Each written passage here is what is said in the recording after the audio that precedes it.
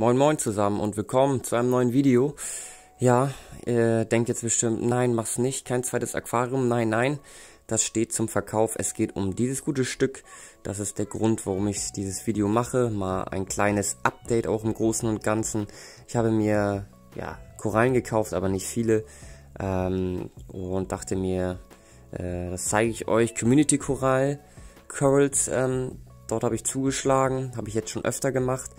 Ich habe hier einmal, oder es ist zweimal das gleiche, es ist nichts Wildes, wirklich nichts Spektakuläres. Ich habe einfach zwei wirklich große Ableger gekauft, ähm, Röhrenkorallen.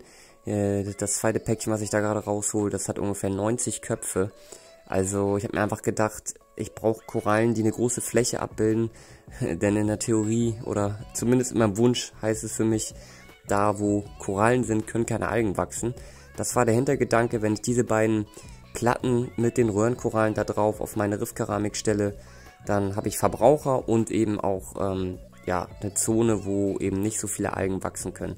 Das sind zusammen jetzt ungefähr 120, 130 Köpfe. Warum Röhrenkorallen sind ziemlich einfach zu pflegen und ich habe da tatsächlich auch schon welche in meinem Aquarium und das sind eine der wenigen Korallen, die wirklich unbeschwert auch sich äh, weiter vermehren, also wachsen und ähm, immer größer werden, immer mehr Köpfe kommen zum Vorschein. Ich mag Röhrenkorallen, sind ziemlich einfach, verzeihen viele Fehler. Genau, und ähm, deswegen habe ich die gekauft, ähm, habe die dann oben auf die Riffkeramik platziert, denn das sehen wir nachher nochmal. Ich habe da wirklich die meisten Algen. Ja, ich glaube, jeder von euch hat das Problem gerade. Draußen wird es unbeschreiblich heiß. Der Sommer kommt. Ähm, auch mein Becken steigt temperaturmäßig extrem in die Höhe.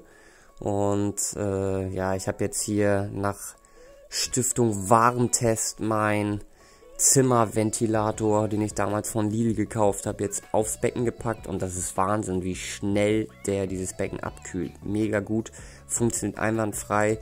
Äh, bevor die Leute jetzt losschreien, wie doof kann man sein, das Ding im Aquarium und dann hast du aber ein Problem. Das ist alles TÜV genehmigt hier. Der Standfuß des Ventilators ist so rund und groß, dass er nicht reinfallen kann und links hängt der Ventilator drüber. Also da muss schon äh, ziemlich viel schief gehen, dass das Ding irgendwie im Becken landet, geht aber eigentlich gar nicht, denn äh, der Platz ist einfach nicht groß genug. Dann habe ich äh, meine Strömungspumpe ganz weit nach oben angebracht. Man sieht das, da bildet sich dann so ein kleiner äh, Wassersturm und dann eben ganz, ganz viele Luftbläschen. Ich brauche nämlich Sauerstoff, denn ich habe oder ich dosiere momentan mit Special Blend ganz viel, einfach für eine gute Bakterienkultur.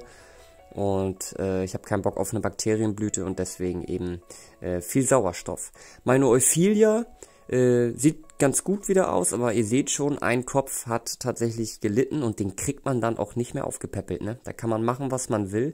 Es ist unfassbar, sobald dieses Rippengestänge, also eben der, ja, der, der Kopf sozusagen äh, eingegangen ist, kriegst du den nicht mehr wieder auf Vordermann. Die Mini-Anemonen sind wirklich so geil, so einfach, vermehren sich auch, ähm, wandern auch kaum. Der Nemo freut sich wirklich äh, mega darüber und ich bin auch richtig froh. Die Mini-Anemonen, denen geht's richtig gut und die sehen auch immer top aus, richtig schön. Ähm, ja, ist ein Zuhause für einen von den Nemos, der andere wird irgendwie nicht mehr akzeptiert. Das Video hatte ich ja letztes Mal schon gemacht, die streiten sich. Mega nervig. Ein schönen Zoanthus-Stein hatte ich ja damals gemacht. Da kann ich auch noch was Schönes zu berichten man, ihr merkt, ich habe viel erlebt, auch wenn ich wenig gepostet habe, weil ich mir jetzt einfach auch vorgenommen habe, ähm, ein bisschen zu lernen und nicht so viel zu posten und so. Ähm, ich hatte Nährstoffmangel. Die Zoanthus haben sich sofort aufgelöst. Das war wirklich Wahnsinn. Also Zoanthus mögen's dreckiger und ich hatte keine Algen, glasklares Wasser und man hat einfach gemerkt, die Korallen stehen aber überhaupt nicht gut, ähm, weil ich einfach null Nährstoffe, null Nitrat, null Phosphat, also das war so sauber, das Wasser. Und da haben sich die Zoanthos wirklich aufgelöst. Da musste ich dann ein bisschen gegensteuern äh, und habe äh, das Wasser indirekt dreckig gemacht sozusagen.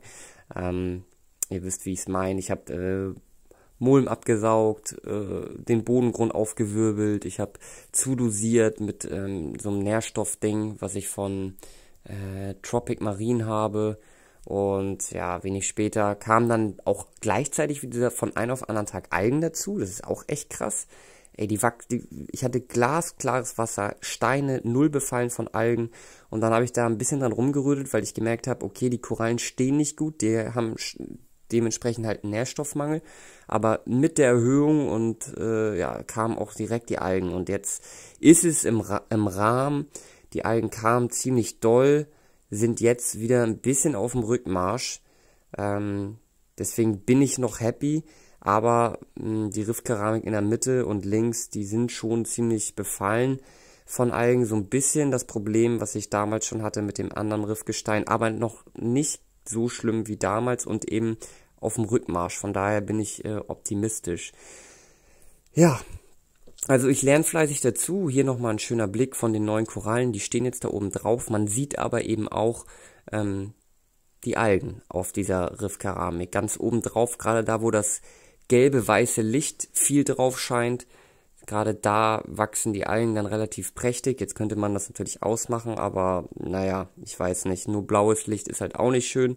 Also Licht bleibt auch weiter in der Thematik, aber die Röhrenkorallen stehen wie eine Eins. Ich finde sie super schön und ich hoffe, die vermehren sich einfach rapide und überwachsen so ein bisschen die Riffkeramik.